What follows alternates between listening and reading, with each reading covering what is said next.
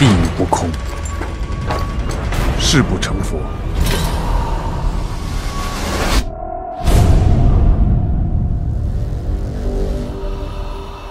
每个人心中都有一只恶鬼，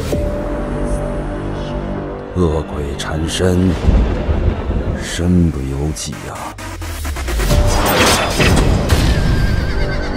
恭喜幻天真人任我大唐国师，那就请真人演练大法，让朕开开眼。遵旨。啊有有我了！